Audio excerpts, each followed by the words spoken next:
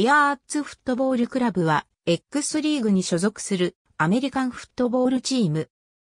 前身となった鹿島ディアーズ及びリクシルディアーズについてもこのページで説明する。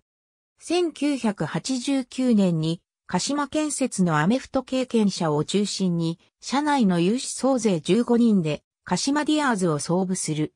当時のスローガンは5年で日本一であった。練習は鹿島建設柴崎グラウンドで行っている。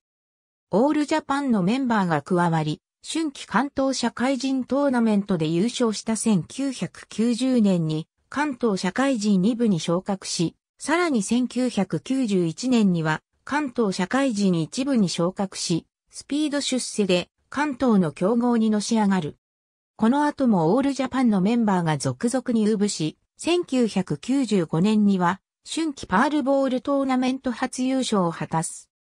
そして1997年には東京スーパーボールに出場し、松下電工インパルスを48から12で圧倒し、さらにライスボールでは法政大学トマホークスを39から0で完封し、総部9年目で日本一に輝く。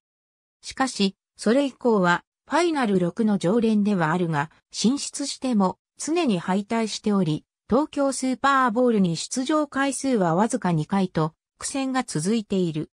一方春季パールボールトーナメントには、今まで5度優勝しており、春は非常に強い鹿島と言える。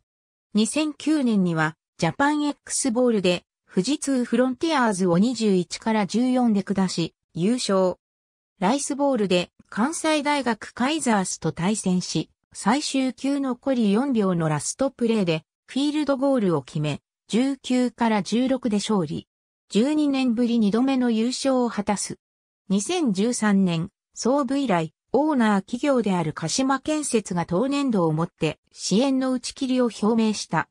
2014年1月30日に住宅設備大手のリクシルがスポンサー契約を結び、実業団からクラブ化、チーム名も変更した。なお、2014年以降も練習は柴崎グラウンドにて行われている。2019年ヘッドコーチに高野元秀が就任する。元ヘッドコーチの富永はじめはオフェンスコーディネーターに。2021年リクシルとの契約満了によりチーム名をディアーズフットボールクラブに変更。ありがとうございます。